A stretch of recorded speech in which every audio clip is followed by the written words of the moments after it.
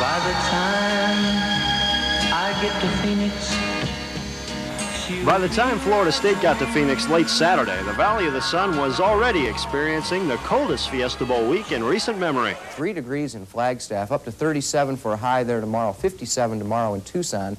It finally warmed up a bit today, Florida State's second full day here, but still the high temperature today in the Valley of the Sun will only be about 50 degrees. And that's not the only break from the normal Tallahassee routine, as Coach Bowden has closed practices to the fans and the media all week.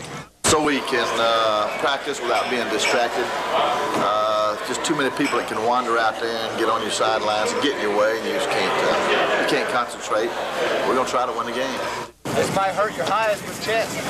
Well, they did let us in for a little while today, long enough to note that this is a loose bunch of Seminoles, one that's not uptight at all about facing the fifth-ranked team in the nation. No, we definitely want to go out to win, you know, because we know Nebraska is a powerhouse. You know, they really have a good tradition there for football. So we plan to go out there and, you know, play ball hard and, you know, win and, uh, you know, remove any doubts around the nation and who's, who should be the best team in the nation. Just across the valley, the Huskers worked out under the watchful eye of Dr. Tom Osborne.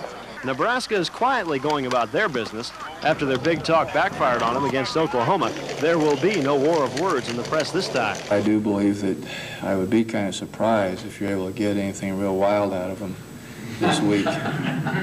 Tonight at 11, we'll look back at the very first Fiesta Bowl game, that 1971 shootout between the Seminoles and Arizona State. Ken Tomash, Channel 6 Eyewitness Sports at Fiesta Bowl week in Tempe, Arizona.